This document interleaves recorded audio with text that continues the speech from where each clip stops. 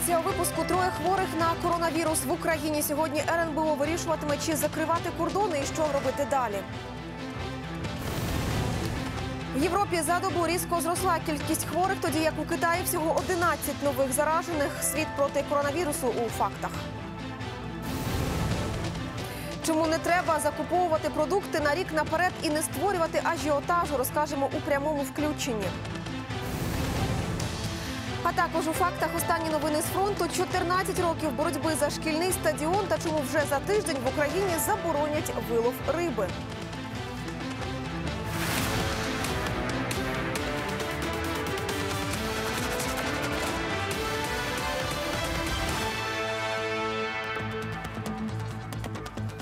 Восьма 45 в ефірі факти про головне на цю мить. Доброго ранку. В Україні офіційно підтвердили ще два випадки коронавірусу. Хворі чоловік із Чернівецької області, дружина якого була в Італії, та 70-річна жінка із Житомирщини. Відомо, що вона подорожувала Польщею і 1 березня повернулася спочатку до Львова, а потім Радомишля. Хвора перебуває в інфекційному відділенні. Родичі, з якими вона спілкувалася, ізольовані. Також на карантині всі медики, які оглядали жінку. В Радомишлі запроваджували надзвичайно запроваджують надзвичайний стан. Зокрема, закривають розважальні заклади. Загалом в Україні три офіційно підтверджені випадки зараження коронавірусом. Перший зафіксували у чоловіка в Чернівцях. Нині його стан задовільний.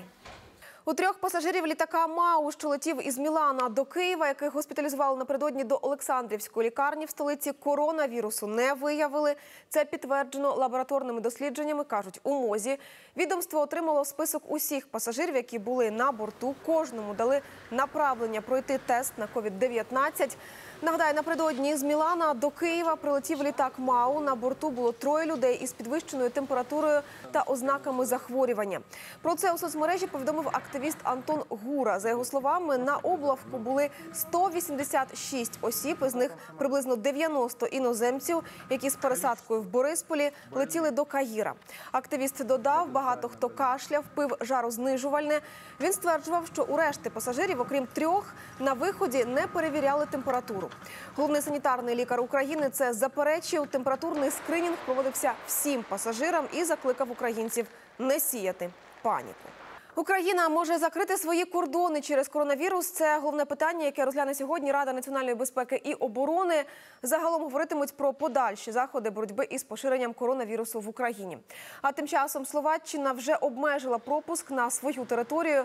Дозвіл на в'їзд з України надаватиметься лише громадянам Словаччини і тим, хто має документи про постійне чи тимчасове проживання на території республіки.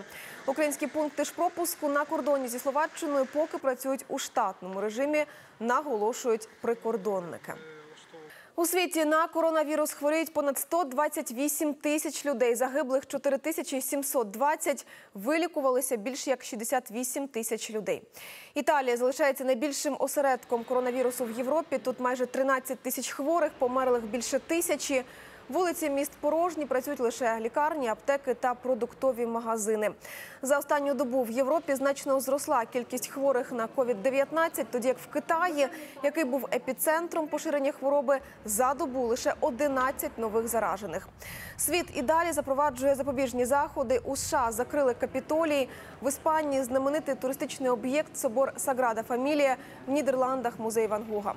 В Австрії заборонили релігійні та приватні святкування. Тим часом Греція ухвалила оригінальне рішення: 155 тонн нелегального алкоголю там перероблять на антисептик.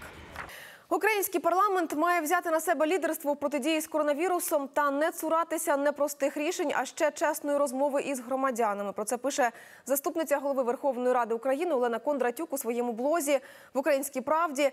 Вона закликала колег-депутатів власним прикладом заохочувати громадян дотримуватися заходів безпеки, а бізнес із розумінням поставитися до своїх працівників під час пандемії.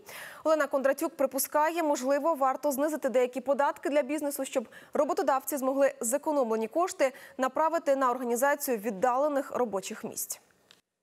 Верховна Рада має терміново прийняти усі найважливіші рішення виключно для одного питання для боротьби з розповсюдженням коронавірусу, включаючи можливі зміни до бюджету і необхідні призначення.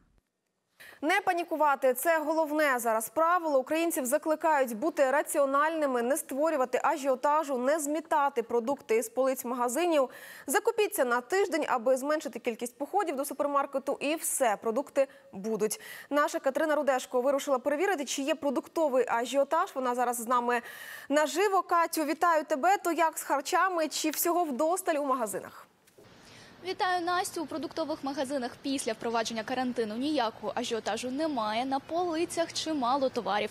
Єдине, ми від ранку не знайшли тут антисептика для рук. Попри це, у соцмережах люди трохи панікують після публікації фотографій з пустими полицями. Але ці світлини були зроблені у закордонних супермаркетах. У столичних магазинах наразі продуктів вистачає. Дещо розкуповують із вечора, а вже вранці виставляють новий товар. Ажіотаж був би, якби магазини закрилися. Дефіциту і проблем з поставками немає, адже наші кордоні кордони не закриті. Вчора ми пройшлися магазинами ввечері. Натовпу людей не було, а на касах черги були не більше ніж зазвичай. Порожніх полиць ми також практично не побачили. Трохи порожньо на полицях з гречкою, борошном, макаронами і туалетним папером. Але величезного ажіотажу немає. Будь-який продукт можна купити. Що купляли? Як що купляли? Продукти харчування. А чого? Бо карантин чи просто на кожен день? Ні, на кожен день. Самі не панікуєте? Ні, ні, не панікую. Закуповуватись наперед не плануєте? От, отак як зараз всі. Раз у місяць, оце раз у місяць у бабушки покупка така. Додам, що у період вірусних інфекцій найгірше, що можна зробити, це марно блукати магазинами у пошуках чого-небудь. Адже головне джерело вірусу це людина. Тобто, чим менше ви перебуваєте у закритому приміщенні з натовпом людей, тим менше шансів захворіти. Тож пройтися зайвий раз до зупинки або зайвий раз не зайти в супермаркет це мудрі рішення. Настю. Дякую, Катя. Катерина Рудешко, наш кореспондент, про те, що немає продуктового ажіотажу в магазинах і не треба бігти по гречку і сіль. На передовій доба минула без втрат. Російські окупанти чотири рази порушили режим припинення вогню. Один наш боєць поранений. З початку цієї доби ворог випустив 11 мін по позиціях неподалік Лебединського. Втрат немає. Останні новини з фронту розповість Володимир Михайлов. Він з нами наживо. Володю, вітаю тобі слово. Настя, вітаю. Досить контрастний тиждень виявився цього разу на Донбасі. Атака росіян з ракетних комплексів на військові вантажівки. Атака з ударних безпілотників на санітарні автомобілі. В один день штаб фіксував 17 обстрілів. Наступного дня тільки дві атаки. Бойовий сплеск і раптове затища російських формувань не піддаються логіці. Однак бойовики атаки, хоч і зменшили, проте не припинили.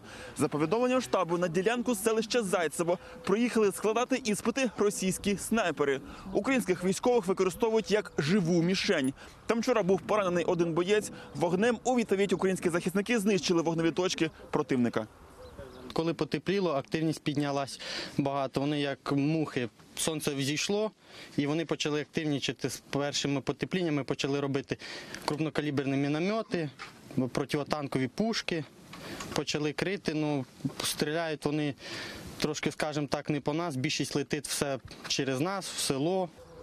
Снайперська активність помічена і в районі Мар'їнки. Тактика російських бойовиків традиційна. Великими калібрами українських армійців виманюють на вогонь відповідь. Далі вже по вогневих точках військових відпрацьовують ворожі снайпери. Стрілецька зброя стріляє, так само можуть ще стріляти е, ці АГСи, РПГ, мухи. Так, ну, і вони зразу бачать, е, коли хтось відкриває вогонь назустріч. Ну, снайпер працює.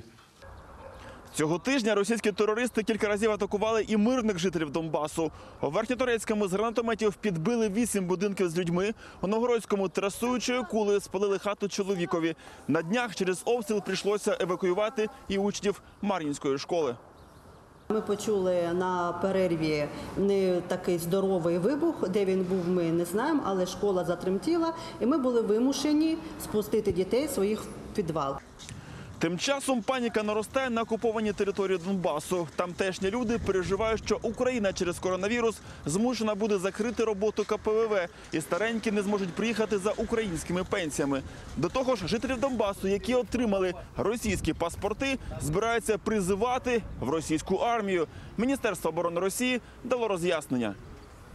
При получении гражданства Российской Федерации гражданин Российской Федерации обязан явиться в военный комиссариат для постановки на воинский учет, а в дальнейшем пройти мероприятия, связанные с призывом на военную службу. Такі новини у мене сьогодні. Насте. Дякую, Володю. Володимир Михайлов, наш кореспондент із передової. Миколаїв уже невдовзі може повернути собі колишню славу міста кораблебудування. Місцевий завод Океан нарощує обсяги виробництва. Колись потужне підприємство за останні 10 років збанкрутіло. Проте 2018-го змінився власник і завод почав відроджуватися. Нині тут будують баржі, модернізують і ремонтують судна, виготовляють мости. Кваліфіковані працівники почали повертатися додому із заробітків. Про перспективи вітчизняного суднобудування. Олена Горячева.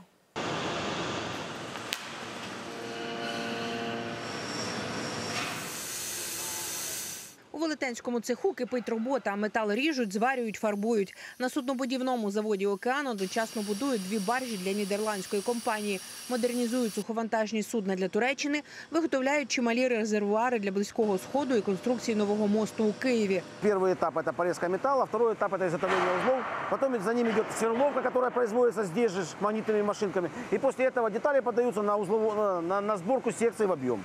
Заводу «Океан» майже 70 років. Ще на початку нульових у цехах одночасно будувалося 27 суден. Але за останні 10 років російський власник довів підприємство до банкрутства. З 4 тисяч працівників залишилося 100. Павло Мельниченко 40 років працює на заводі гібщиком металу, але кинув рідний цех і поїхав наверх за кордоном. Такой работы, как сейчас, загрузки не было. Ходили, убирали, подметали. З кінця 2018-го у збанкрутілого підприємства український власник. Він сплатив за попередника 100 мільйонів гривень боргів перед працівниками. Андрій Процішин повернувся за кордону і сподівається залишитись на заводі. Если не было бы здесь перспективы, бы поехал бы за границу.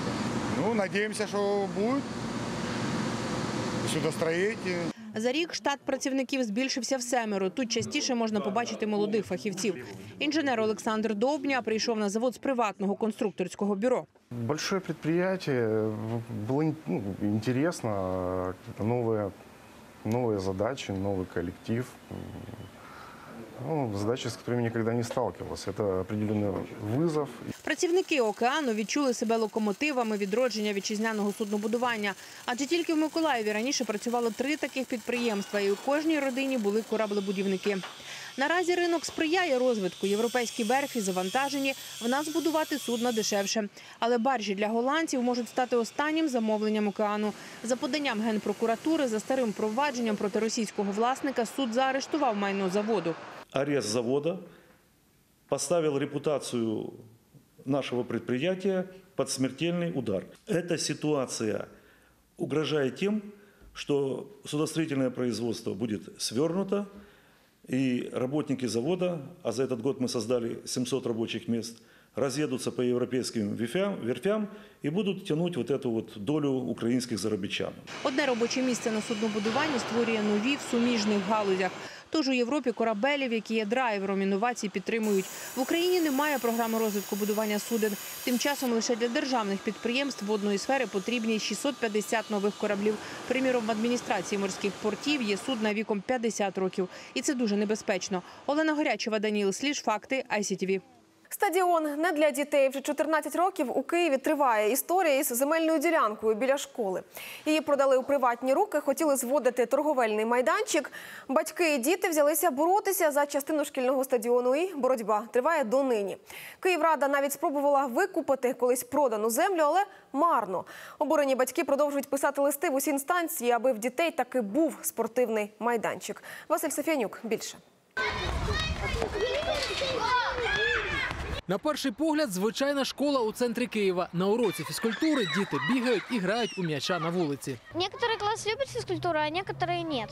Но физкультура, честно, прикольный урок. Та біда в тому, що ці два невеликі майданчики єдині, де можуть займатися понад 650 учнів.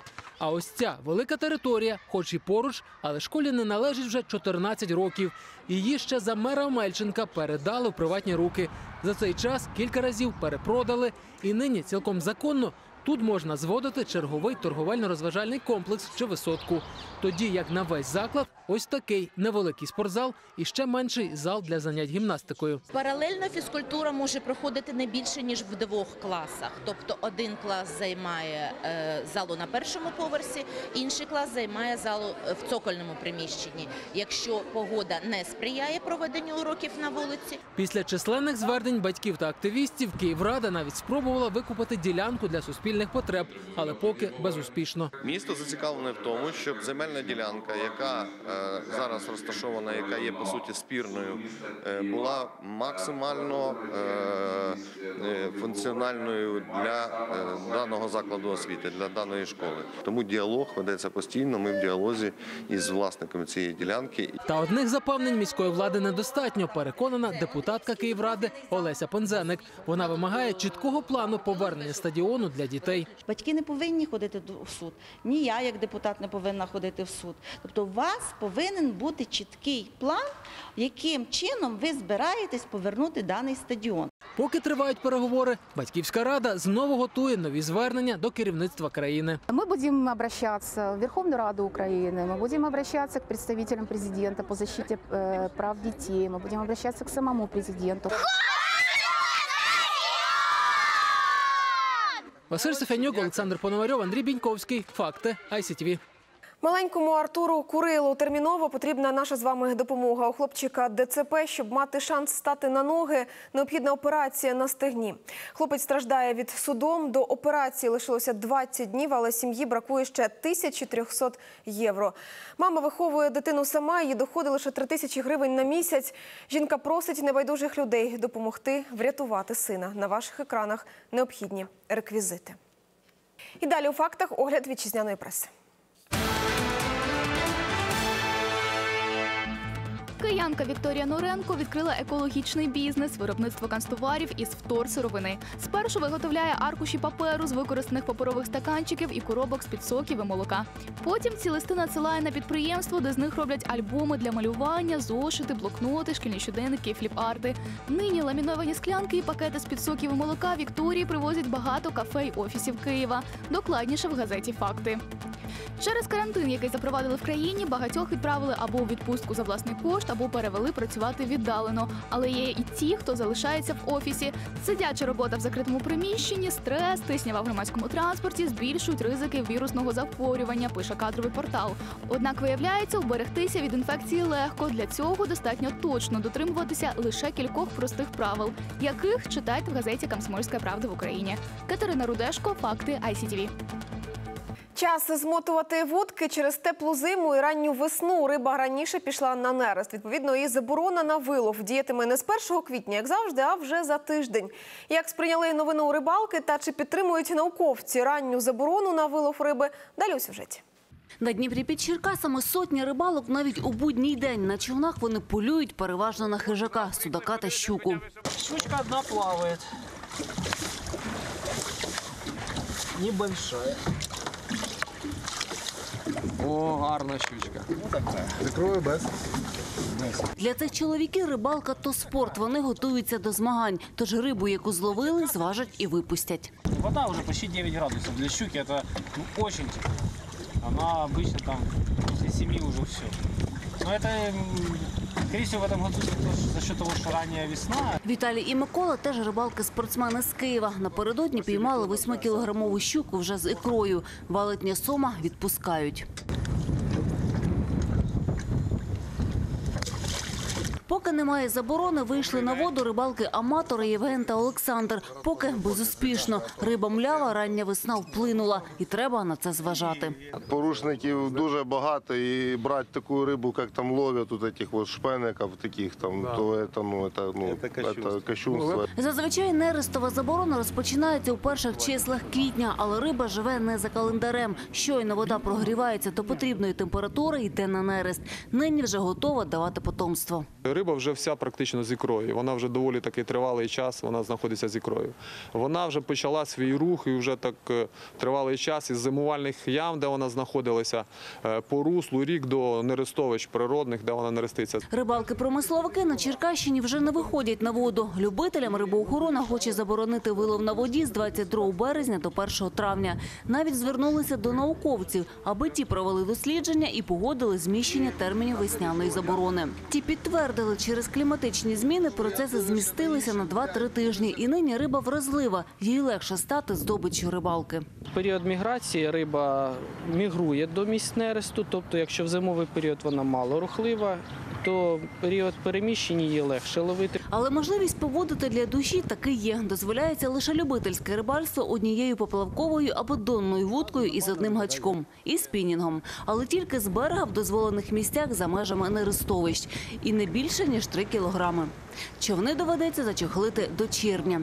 Також через аномально теплу погоду і ранній нерест змістили строки весняної заборони на вилов риби і в Білорусі. Ірина Цимбал, Сергій Дністрян, Факти ICTV. Дача готує революцію на ринку електромобілів. Французи випускають на європейський ринок повністю електричний сіті-кар Дача Спрінг. Це буде перший бюджетний електромобіль. Цільова аудиторія молодь. Технічних характеристик обмаль. Відомо лише, що запасу ходу вистачить на 200 кілометрів. Схожу машину, але під брендом Renault City KZE концерн уже випускає для китайського ринку. Адаптований під Європу Спрінг, вочевидь, відрізнятиметься лише зовні. Двигун на 44 кінські сили розганяє сітікар до 105 км на годину. Але найголовніша перевага ціна в Китаї. Найдорожча версія коштує всього 10 тисяч доларів. Сьогодні п'ятниця 13. Навколо цієї дати чимало забобон та міфів. Приміром, кажуть, що цього дня краще не починати ніяких справ, все одно не пощастить. Є навіть ті, хто намагається пересидіти таки п'ятниці вдома. Лікарі навіть дали назву цьому страху параска веде катріафобія. Цікаво, що в різних культурах комбінація числа і дня тижня для невдалих днів різна. Скажімо, в Греції, Румунії та іспаномовних країнах це не п'ятниця, а вівторок 13. В Італії нещасливий день це п'ятниця 17. Та вахівці з усіх країн одностайні. Усі нещастя, які начебто переслідують нас цими днями, лише у нас в голові. Якщо не вірити в погане, цей день буде цілком щасливим, адже попереду вихідні.